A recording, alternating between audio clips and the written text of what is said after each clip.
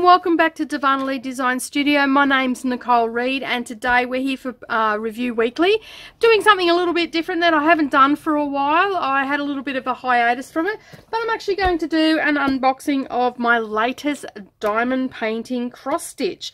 Uh, as usual, I'll put a link up down below where you can get hold of this um, and I'm pretty excited about this one.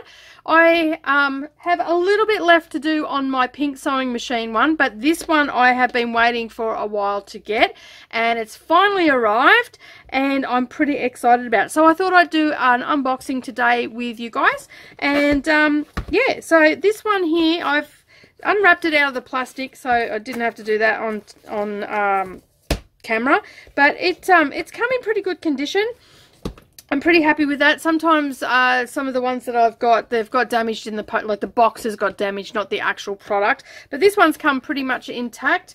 Uh, as I said, it's a diamond painting cross stitch and uh, rhinestone art, they call it. So I'm just going to start pulling some of these things out and make sure we've got everything and that's what I like to do when everything comes. I like to uh, open them up and make sure that everything's there. So as you can see, I've just pulled it out. It's in pretty good condition. It's not too creased or anything like that. I really do like the ones that come in the box because it seems to just keep them a little bit, um, little bit less creased and, and easier to, to get into. Alrighty, so I'm just going to check this one.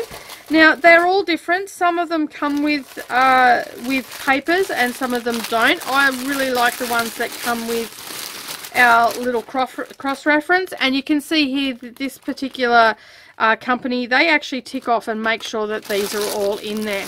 So yeah, as you can see, I'm actually going to be working on a vintage Singer one. Now, this particular one, um, the size of it is, let me just have a look here, it is 60 centimeters by 50 centimeters. So it's a decent size one. It's not even going to fit on camera. You can see that the ca canvas is all in intact. Um, I'm pretty happy about that. It's not creased or damaged in any way. I have got them in the past where they have been eh, pretty damaged. Um, but this company um, I've dealt with a couple of times now and they always send me really good products and I'll link that up down below for you so you can get it and um, you can see it's got the codes all on the side. I'm pretty happy with how the canvas is. I'll just um, end up flattening that out before I start working on it and I can see that they've ticked off and said that everything's come there. And you can see there is a lot of drills in this one. I've got my little toolkit as well. And I've been doing these for a while so I've got quite a few tools now.